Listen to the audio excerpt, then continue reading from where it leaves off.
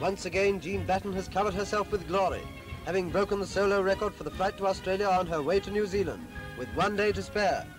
Well done, Jean. We think you're wonderful.